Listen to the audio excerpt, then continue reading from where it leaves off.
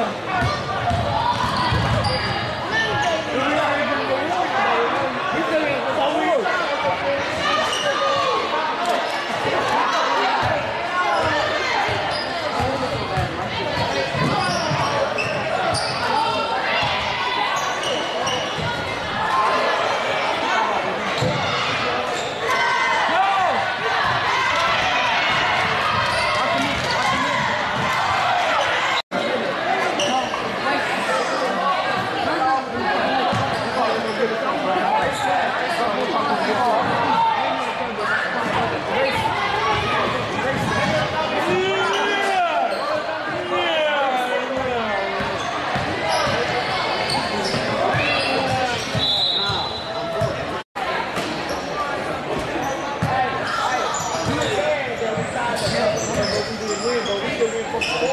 我去我